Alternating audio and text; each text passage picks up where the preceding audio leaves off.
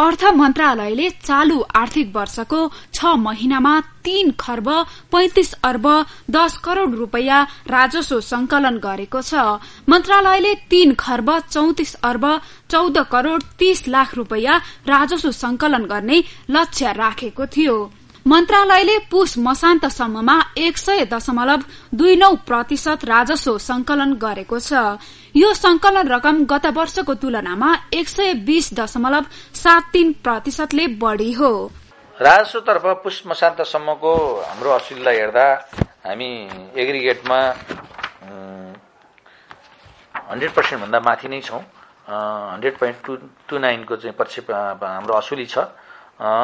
यसमध्येमा यो खर्च चाहिँ गत वर्षको यही अवधिको तुलनामा यो एक सय बिस पोइन्ट त्रिहत्तर पर्सेन्टको वृद्धि हो भनेको बिस पोइन्ट त्रिहत्तर पर्सेन्ट यसमा वृद्धि छ। यो पुष्म शान्तसम्मको हाम्रो लक्ष्य तिन सय चौतिस अरब चौध करोड तिस लाख साठी हजार थियो।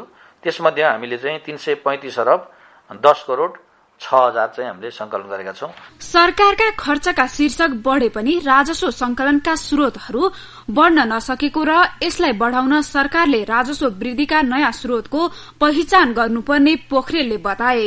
देश संघीयतामा गइसकेको अवस्थामा स्थानीय तथा प्रादेशिक सरकारका आ आफ्ना क्षेत्रको राजस्वको स्रोत पहिचान गर्नुपर्ने राजस्वको नयाँ स्रोत कहाँबाट बढ़ाउन सकिन्छ भन्ने विषयमा छलफल गरी नयाँ स्रोतको खोजी गर्ने र सरकारले प्रशासनिक सुधार गर्नुपर्ने देखिन्छ। संघीय सरकारको हिसाबले राजस्वको स्रोतमा अहिले राजस्व कहाँबाट बढाउन सकिन्छ भन्ने सन्दर्भमा दुईटा चाहिँ क्षेत्र हुन सक्छन् एउटा नयाँ स्रोतको खोजी अर्को हुन सक्छ प्रशासनिक सुधार। अहिले भइरहेकै राजस्व संरचनामा कहाँ सुधार गर्न सकिन्छ कम्प्लायन्स बढाउन सकिन्छ भन्ने हो।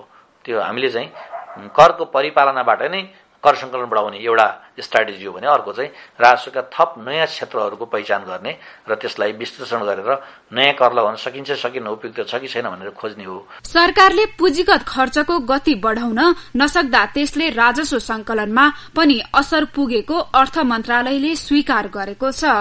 राजस्वको दायरा बढ़ाउन मन्त्रालयले राजस्व कार्यालयहरू राजस्व विभागहरूलाई राजस्व संकलनमा थप कड़ाई गर्न निर्देशन दिएको छ।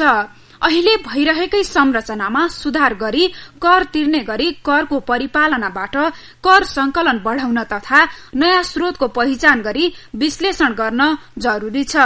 होइन भने आर्थिक भार बढ़ने तर आमदानी नबढ़ने हो भने मुलुकमा बजेट घाटा बढ़न सक्ने चुनौती देखिन्छ। एभिन्यूज खबरका लागि क्यामेरामा सबिन महर्जनका साथमा दुर्गा भट्ट सिंहदरबार काठमाडौँ।